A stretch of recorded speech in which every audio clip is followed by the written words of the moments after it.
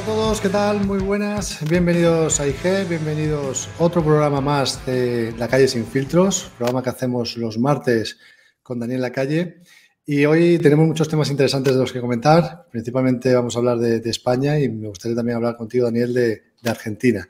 Pero primero de todo, saludarte, ¿qué tal? ¿Cómo estás? Muy buenas, bienvenido. Todo muy bien, muchísimas gracias, un gusto. Me alegro, me alegro que vaya todo, todo bien. Aunque bueno, tenemos en España cosas interesantes ¿no? de las que comentar. Lo primero de todo, eh, tenemos ya gobierno en España, ya se ha formado, ya se ha firmado, se firmó la ley de amnistía que ha sido la que ha permitido que el Partido Socialista, Sumar, eh, puedan tener el apoyo de Junts para Cataluña y que de esa manera se pueda formar ese gobierno que, bueno, pues vemos que sigue teniendo una cantidad importante de ministerios. Pero lo más importante, eh, la ley de amnistía. Eh, ¿Crees que esto puede generar, em, bueno, pues eh, división de poderes o que se acabe con la división de poderes y que por tanto pueda generar incertidumbre en España y que eso pueda afectar a la economía? ¿Cómo lo, cómo lo estás viendo tú? Bueno, yo creo que un problema para la división de poderes no es ni debatible, ¿no? Eh, se ha creado un ministerio que es de presidencia, de relación con las Cortes y de justicia a la vez. Eso ya de entrada eh, denota lo que está intentando hacer el gobierno, ¿no? que es acabar completamente con la división de poderes y centralizarlo todo en el poder político. Eh, pero vamos, que eh, la división de poderes y la independencia del poder judicial está puesta en peligro, no lo digo yo, lo dicen todas las asociaciones de jueces y el asalto al poder judicial es muy evidente. ¿Eso eh, va a tener impacto económico? Claro que lo tiene. Eh, nos estamos acostumbrando al estancamiento, ¿no? Y nos estamos acostumbrando pues a, una economía que, en la que hay 300.000 empresas menos según el INE que antes de la pandemia, en la que hay 50.000 eh, empresas cotizando menos que antes de la pandemia, en la que la inversión extranjera está cayendo y eh, está por debajo un 50%, casi un 50% por debajo del año 2019 y no pasa nada, ¿no? Y, nos, te dicen que no pasa nada porque todo lo disfraza la deuda y el, eh, el uso constante por parte del, eh, del, del gobierno del apoyo del Banco Central Europeo y de Europa, claro. Justamente hablando de, deuda, ¿no? E, ese impacto eh, que, estamos, que estás comentando, ¿no? que efectivamente la deuda lo está disfrazando todo, pero resulta que para llegar a ese acuerdo se ha llegado a, eh, un, otro acuerdo entre ellos, ¿no? que es quita de deuda de la deuda de Cataluña. ¿Esto cómo, cómo, impacta en el resto de España? ¿Cómo impacta en general en, la economía? Hombre, yo creo que, vamos, no, no, yo creo que es que no hay ni, ni debate también sobre cómo impacta. Pues todos los eh, ciudadanos, todos los españoles, vamos a pagar más, más deuda y sobre todo impacta desde un punto de vista de eh, incentivos perversos. Resulta que la comunidad más endeudada con el Fondo de Liquidez Autonómico es la que sale eh, beneficiada, entre comillas, ¿no?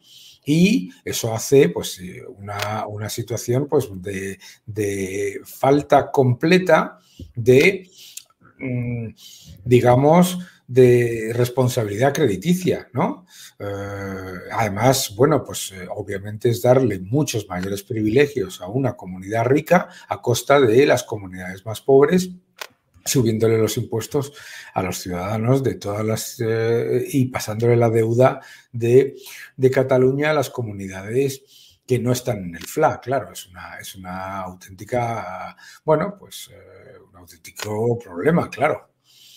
Y un problema que se va a financiar en base a base de impuestos, ¿no? Porque estamos viendo cómo van a subir los impuestos al resto de, la población. ¿no? Eh, por un lado, como has comentado antes, antes de la pandemia había 300.000 empresas más, ahora va subidas de impuestos que probablemente también ¿no? impacte en la creación de empresas y, por tanto, y también en el consumo privado ¿no? de las familias. Que, ¿Cómo crees ¿no? que si hasta ahora, teóricamente, se ha ido comentando ¿no? que el crecimiento económico en España que como bien hemos comentado en ocasiones anteriores, decías tú, ¿no? Que, se tenía que utilizar gran parte de la deuda para, para crecer un poquito, mucho menos de, lo que uno se endeuda. La, la pregunta es, eh, ¿cuáles son los impuestos que, crees que van a ser más, más perjudiciales para la economía de los que se van a introducir?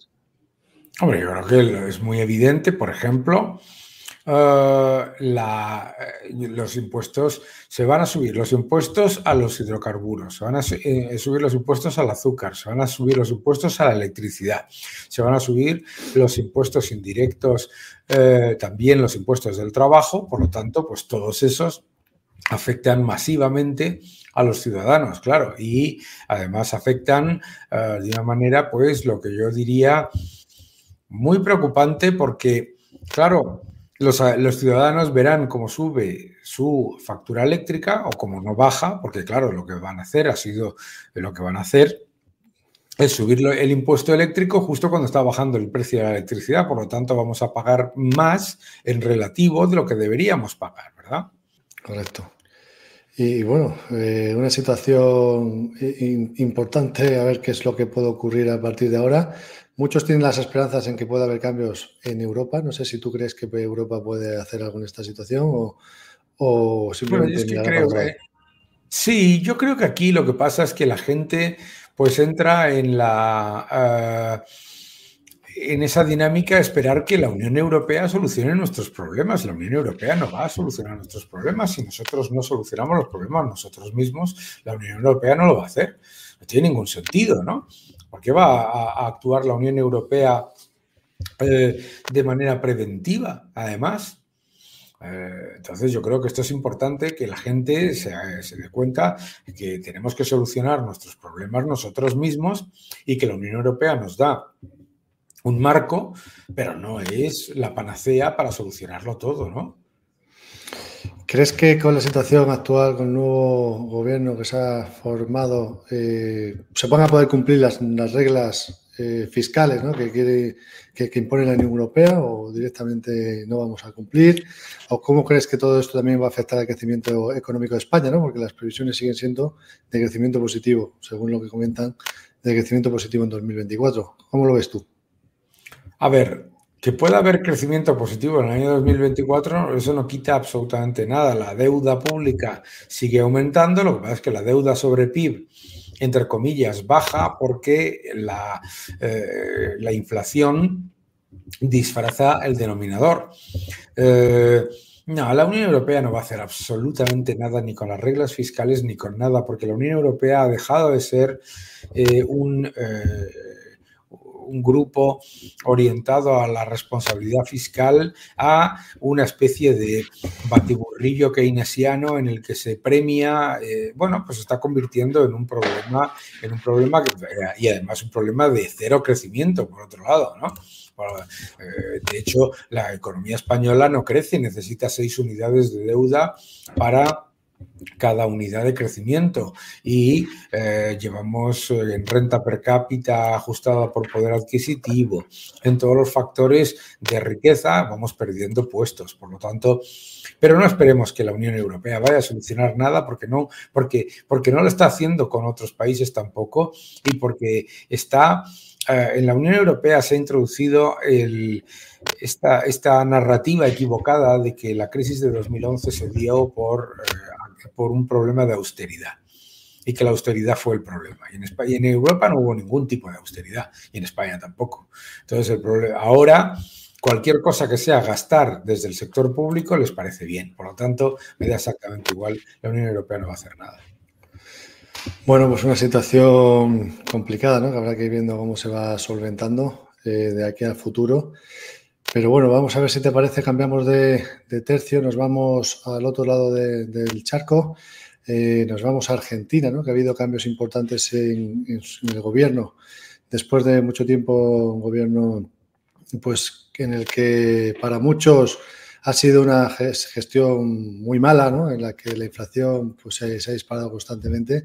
Hay un cambio ahora, entra eh, Milei, que es liberal, y que dice que quiere hacer una serie de cambios muy importantes, ¿no? Quiere reducir los ministerios, eh, quiere dolarizar la economía, ¿Cómo crees, crees que podrá hacer eh, eso? Eh, ¿Cómo se dolariza una economía? Bueno, pues cómo se dolariza una economía. Primero, mm, la economía argentina está fundamentalmente dolarizada. No hay nadie que no haga, que no ahorre en dólares y que no haga las transacciones más importantes vía ah, vía lo que se llama pues, eh, la, dolarización, ¿no? La, dolarización completa. Entonces, por lo tanto, a mí no me parece que ese sea el, problema. Dolarizar es muy fácil, lo único que no sé, que, que, no, la única razón por la que no quieren dolarizar es porque quieren gastar mucho más en una moneda que no tiene respaldo, que no tiene respaldo ni, ni credibilidad ni reservas. Entonces, se puede dolarizar inmediatamente. Eh, y lo que se tiene que hacer es, obviamente, un ajuste fiscal. Eso, la razón por la que mucha gente dice que Argentina no se puede dolarizar es porque no quiere hacer un ajuste fiscal. Pero claro, a mí me da exactamente igual que el ajuste fiscal se esté generando vía reducción de gasto y por lo tanto no afecte a la destrucción del poder adquisitivo de la moneda o que lo que pase es que tengas una inflación del 140%. Al final es exactamente lo mismo, ¿verdad? Entonces, eh, por eso es urgente dolarizar, porque es que no es una cuestión de, que debatamos la viabilidad o no, es que el peso es una moneda fallida. Y en, ese, en esa línea ¿no? que has comentado de hacer ajustes fiscales y hacerlo bien, mi ley habla de eliminar el Banco Central de Argentina. ¿Crees que es una buena medida o qué es que debería, se debería hacer? A ver, es que el Banco Central de Argentina tiene reservas netas negativas. Entonces, es que el Banco Central de Argentina ya está eliminado. El Banco Central de Argentina no tiene nada, es una entidad quebrada. ¿Sabes? Entonces, esto es, es que esto es lo que, lo que muchísima gente no quiere entender, ¿no? El peso es una moneda fallida y el Banco Central de Argentina está quebrado, quebrado completamente.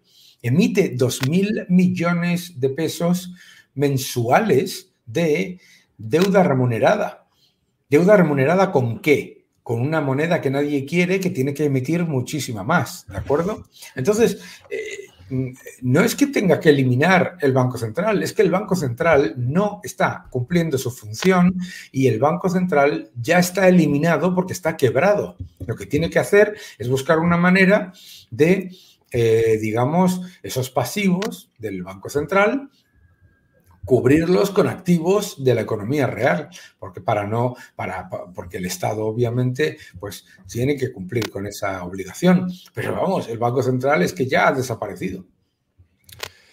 Pues eh, ahí está la, respuesta. Otra de las cosas que quiere hacer mi ley es privatizar, ¿no? Eh, quitar empresas públicas o hacerlas privadas, que también sería una medida ¿no? para reducir eh, gasto, eh, de cierta manera, ¿no? y para ser más eficientes esas, esas empresas. ¿Crees que es una buena medida que le va a funcionar? Bueno, la evidencia empírica en, Argentina es que la nacionalización ha sido un fracaso absoluto. Eh, Argentina está con escasez de gasolina con una empresa nacionalizada que produce petróleo. Argentina tiene una aerolínea que está completamente destruida con gestión pública. Entonces, eh, se tienen que hacer dos cosas. Por un lado, privatizarlas, privatizar empresas, privatizar toda esa cantidad de entes públicos completamente deficitarios que solamente se utilizan para mm, llenarlos de gente y para canalizar gasto clientelar y además para generar recursos para el Estado. O sea, hay que ah, no solamente reducir, no solamente es para reducir gasto corriente, sino para, para generar algún tipo de reservas para el Estado. Entonces eso es importante también entenderlo. Sea, por un lado estamos viendo en Argentina que se busca la línea de la privatización, pero luego vemos en España algunas noticias que han, salido recientemente. Bueno, una reciente hemos visto el economista es que dice que Yolanda Díaz quiere tomar el mando de la SEPI para controlar Telefónica. Vamos nosotros en el sentido contrario, es decir, si Argentina va hacia un lado, nosotros vamos hacia el lado donde, iba, donde estaba Argentina. Bueno, que España está en un proceso de argentinización que si tuviésemos moneda propia sería completo, es clarísimo, ¿verdad? Eh, que el gobierno está haciendo todo lo posible por intervenir y por meter la mano en las empresas, sobre todo las empresas grandes, no es ni debatible. Yo creo que eso es un proceso que, eh, que es clarísimo y en el que, bueno, pues tenemos una evidencia empírica que es que es un gobierno, usted es un gobierno que ha hecho una ley antiopas, un consejo de eh, de, de, consulta sobre mar, ¿cómo se llama esto? Un observatorio de márgenes empresariales, eh, que quiere meter la mano en Telefónica, que quiere meter la mano en las eléctricas, que la ha metido, que quiere meter la mano en todo. Entonces eso clarísimamente, bueno, pues eso, para empezar, tiene un impacto muy negativo. ¿eh? Este gobierno se van a gloria de que la semana pasada subió el IBEX, que es una imbecilidad de tal calibre que no es ni, ni comentable, pero eh, mm, claro, llevamos desde hace cinco años con un IBEX completamente pues, eh, muerto y también, obviamente, con unas empresas cuyo riesgo regulatorio y cuyo riesgo de gobierno corporativo es muy alto por esa injerencia pública. Hay una cosa, bueno, que por lo menos las, eh, las empresas del IBEX se salvan en cierta manera, ¿no? Porque tienen parte de negocio fuera de España, ¿no? Y de ahí que, que, en cierta manera, pues, se puedan salvar algo de todo esto que estamos comentando. Y hablando del mercado en general, ¿no? me gustaría preguntarte cómo lo ves. Estamos viendo subidas eh, importantes en los principales índices, tanto en Estados Unidos como en Europa. ¿A qué, crees que, ¿A qué crees que se está debiendo estas subidas? Hombre, yo creo que la subida es, primero hemos tenido una corrección importante de los mercados, ¿no? Entre agosto, desde agosto hasta, hasta noviembre. Eh, una percepción bastante negativa sobre los tipos de interés y sobre los, eh, las expectativas de inflación y beneficios empresariales. Entonces, pues yo creo que mm, es un poco la ley del péndulo, ¿no? Ahora hay un nivel de, digamos, hay un poco más de optimismo con respecto tanto a los beneficios empresariales como a las expectativas de inflación. Yo creo que el gran catalizador ha sido las expectativas de inflación que en Estados Unidos sean un poquito más bajas de lo esperado y en Europa también, ayuda a que los operadores de mercado pues perciban que la política monetaria va a ser más laxa, que el riesgo inflacionista es menor y por lo tanto los márgenes empresariales van a estar más protegidos. Yo creo que en general es pasar de una visión de que la inflación era un, era un problema que no, yo creo que ni una cosa ni la otra, ¿no? Ni, ni, la corrección previa ni esta subida actual. Yo creo que es básicamente, eh, bueno, pues digamos eh, que esa incertidumbre con respecto a los eh, datos de inflación y los datos de, sobre todo, cuál va a ser el impacto en, en decisiones sobre tipos de interés. Y esas expectativas de inflación más reducidas, junto con quizás, ¿no? Eh, las expectativas de los tipos de interés que comentas han hecho que el mercado de bonos haya rebotado eh, recientemente en precio, ¿no? Y caído en rentabilidad. ¿Cómo ves tú el mercado de bonos? ¿Qué, esperas?